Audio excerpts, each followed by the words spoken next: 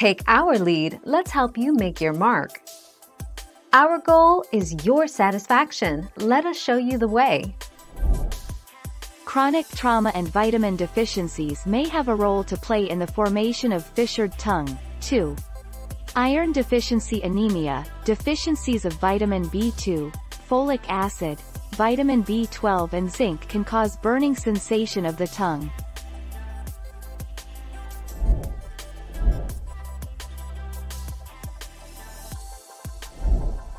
Take our lead.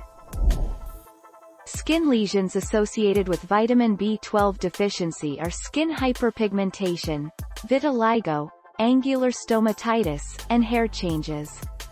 Cutaneous lesions that do not respond to conventional therapy can be an indication of vitamin B12 deficiency.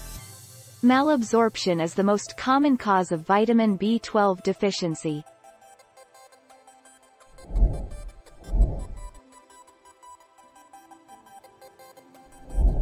Make your mark, take our lead.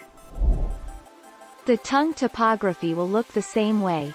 The deeper the crack, the more chronic the condition of the tongue. The body is experiencing dehydration and long-term adrenal stress.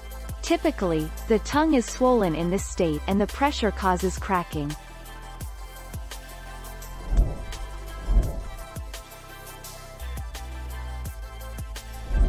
Make your mark, take our lead.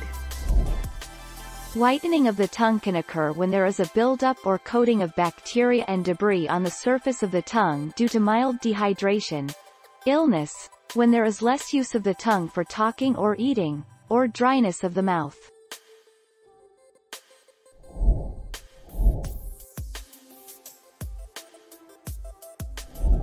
Let's help you make your mark.